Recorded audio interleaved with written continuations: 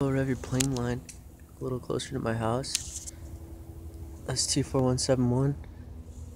And he's just revving on my roof.